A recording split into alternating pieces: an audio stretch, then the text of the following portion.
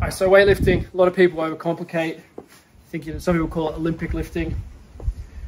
I'm a huge fan of, of weightlifting. One of the best ways to start with it is just to make sure you're comfortable with the bar straight above your head. You don't want to throw the bar up if you're not sure of where you're going to catch it. So the first thing is to be able to stabilize it above the head. I like to have people just play around with that position a little bit. Doesn't have to go to too much stretch. Just feel where that end position is. Feeling that movement vertically. Get a, some knowledge of where you want to end the movement. And then working on just this top part of the movement. Now there's different ways to execute this. If you're looking for it for athletics, some people really like that throwing movement where you're throwing the bar with the hips. More technically for weightlifting,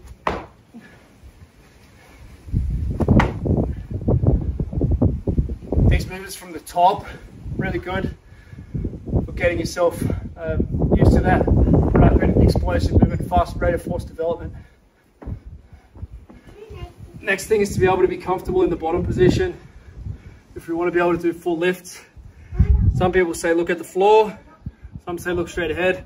The floor is probably better. Working into that position vertically, not trying to be too explosive.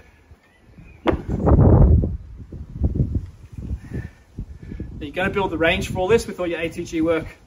Pullovers, squats, split squats.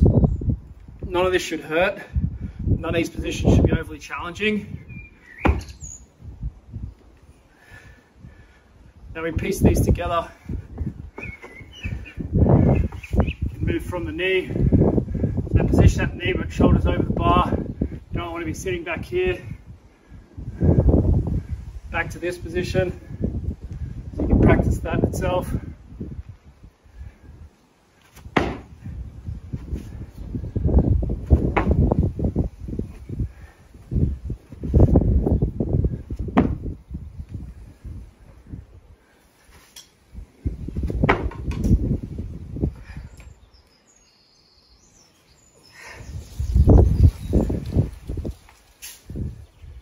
This is how I really like to learn weightlifting.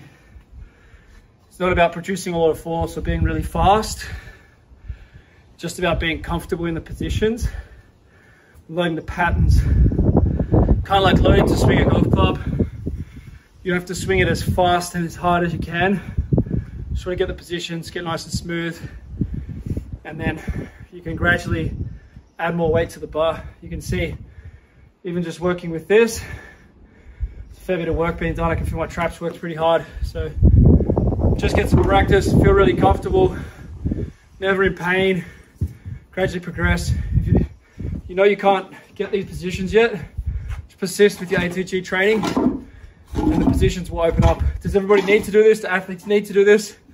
Definitely not the only way. Everybody doesn't need to do it.